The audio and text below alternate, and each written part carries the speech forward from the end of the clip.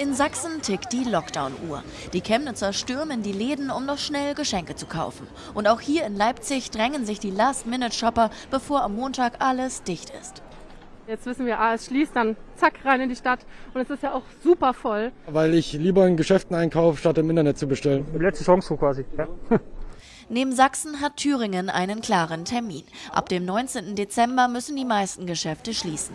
In anderen Bundesländern wird über Schließungen erst nach Weihnachten nachgedacht. Gefährlich findet das Gesundheitspolitiker Karl Lauterbach. Wir müssen sofort die Geschäfte schließen. Also dass man jetzt sagt, wir nehmen das nächste Wochenende noch als Verkaufswochenende mit. Zum Beispiel. Das halte ich für vollkommen unvertretbar. So sehen das auch immer mehr Landeschefs. Am Sonntag soll beraten werden, sofortige bundesweite Schließungen, ja oder nein.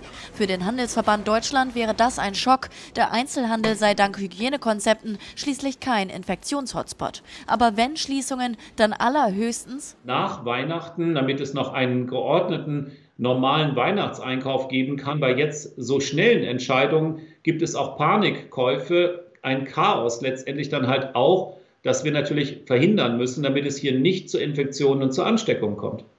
Aber ob Shopping-Lockdown oder nicht, aktuelle Umfragen zeigen ohnehin, jeder Dritte will seine Geschenke dieses Jahr ausschließlich online kaufen.